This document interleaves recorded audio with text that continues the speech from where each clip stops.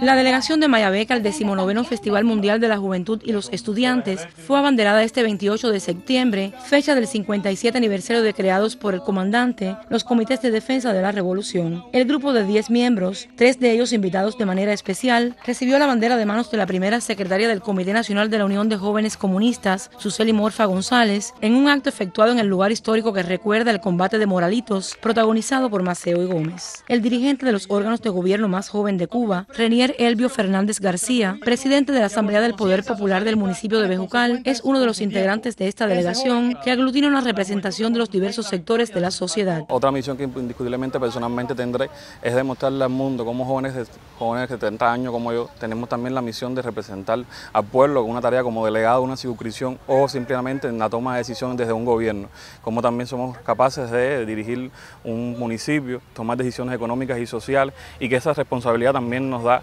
el ser jóvenes responsables, jóvenes revolucionarios, pero sobre todo jóvenes consecuentes en los momentos actuales y que son de las tareas que también asumimos en un momento determinado cuando la revolución nos llama. En la ceremonia se agasajó a través del arte el privilegio de estos jóvenes que viajarán a la ciudad rusa de Sochi del 14 al 22 de octubre próximo para transmitir los principios que caracterizan al pueblo de Cuba como legado del Che y Fidel. En Mayabeque, Jensi Rivera, Sistema Informativo de la Televisión Cubana.